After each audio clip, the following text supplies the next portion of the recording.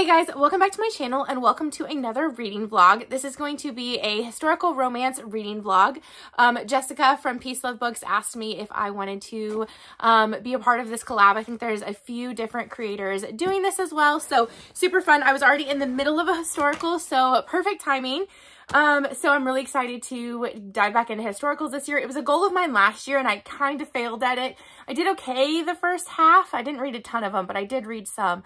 And then the second half of the year, I don't think I read a single one. So um, I'm excited to get back into them this year. And when I was like feeling very slumpy during my, like the, the prime of my morning sickness, um, all I wanted to read was an old school historical and I wanted to like physically hold it. So back in like November, I started Nobody's Darling by Teresa Medeiros. I'm literally only 60 pages in. Like I was reading this so slow because I just wasn't in the mood. But I'm very into it. Like I was enjoying the book. I just wasn't in the mood to read. So honestly, it's been a few weeks since I picked this up, so I don't fully remember what is going on. But I know that the prologue is like something about her grandpa. Like her mom passes away. Her mom would always like write monthly letters to her dad, the kid's grandparent, grandpa, um, just telling him like what's going on. And um, then her mom passes away. So now the heroine, the daughter of her mom, uh, what is her name? Esmeralda. Um, she continues writing the letters to her grandfather, but like really doesn't like him, has never met him, but doesn't like him. Anyway, I don't really know what that has to do with the story yet, but now in the present, she is convinced that Bill, I think his name is Billy, Billy Darling has killed her brother. And so she goes and hunts him down and in this saloon, like tries to arrest him. He doesn't listen. So she pulls a gun on him, but he like is a gunsman, whatever. I don't know what the word is. And so he, of course, like gets away, whatever. She gets arrested because she does end up trying to shoot him. Um, and he comes and gets her from jail and is like, you're coming home with me. So that's like literally all I've read so far. I'm very intrigued. I cannot wait to see where this goes. Um, but yeah, I was feeling a Western, feeling an old school. So hopefully this will live up to be a good one. Um, I don't know what I'm going to read next. I will probably only be able to read two books for this video just because of when it is going up. Um, but I hope to finish that one and then start another one. So yeah, I don't know what the second one will be, but I will let you guys know when I pick one. Um, and I will update you guys later. Hey guys, so sorry I'm looking rough and I'm updating you from bed. We've been traveling all day with a sick toddler and my husband's sick. It's been, it's been quite the ordeal. It's almost midnight. We just got home. But I finished Nobody's Darling.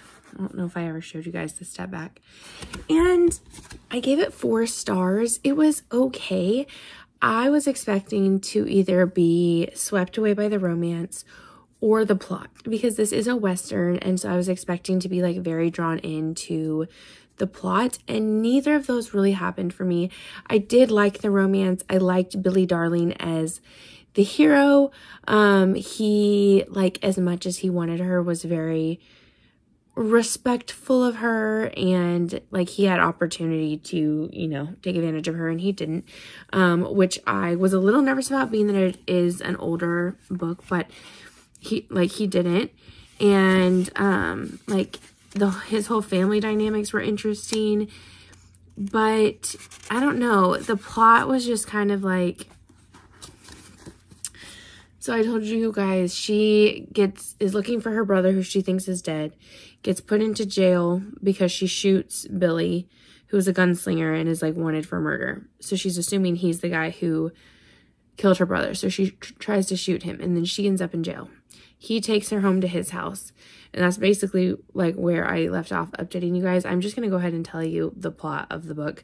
Um, if you don't want to know that, go ahead and skip ahead. But um, so they go and his, all of his brothers are there and he has to like claim her and like basically tell his brother she's off limits. And his brothers are like crazy, but you come to love them as the story goes on. But anyway, they there's a whole lot happening. I don't even know. Um, she hires Billy to help him find her brother throughout a long ordeal process we finally do find her brother and he is alive and is going by the name Bart now instead of Bartholomew um, and is acting as a criminal and or is a criminal and so Billy like actually knows this and finds this out and has no plans to like give him to his sister. Like he plans to take him in because he's wanted and Billy is actually a like bounty hunter.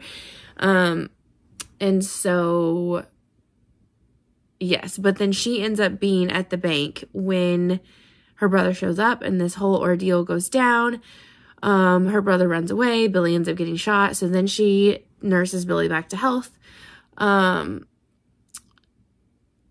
it just is a lot. And then her grandpa finally comes to save her and he's a duke. And so Billy ends up lying to her and telling her he doesn't have feelings for her because he's like, I like she can never do better than that. Like I can't give her that kind of life. But then he regrets it. And so he goes to London and they do this whole like production to win her back. Somebody's actually been tracking him. So then there's like anyway, it's it's a whole thing.